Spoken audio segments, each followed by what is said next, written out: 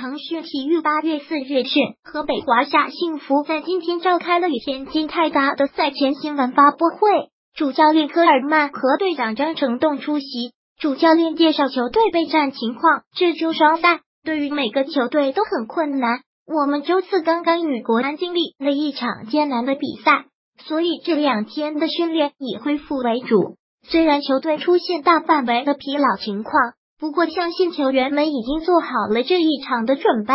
球队从未输给过泰达，但间歇其后一场没赢。如何看待本场比赛？每一场比赛都有高强度的对抗。每一场比赛，我们都顶着压力。同样，明天的比赛对我们是一个很大挑战。间歇期后是三平一负，球队有一些压力。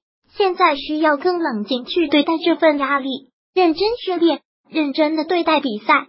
现在球员们精神上、体能上会有些劳累，但我相信我的球员们会摆脱这种疲劳的情况，打好下一轮比赛。球员张成栋介绍本场备战情况。这两场比赛离得比较近，我们这两天更多的是通过科学的手段来进行恢复体能。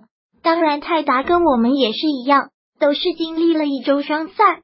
明天这场比赛对双方都是一个挑战。这两天我们会积极恢复体能，恢复士气，希望能获得一个好的结果。还是那句话，我们要取得胜利。最近球场之外有些风波，对球队有无影响？作为一名职业球员，在密集的赛程下，每个人都没有时间去关注场外的因素，只会将精力放在训练场和比赛上。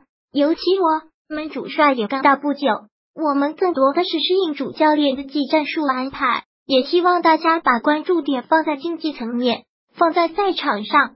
目前球队三平一负，并不是一个很好的情况，我们要扭转这种情况。也更应该全神贯注的投入到场上。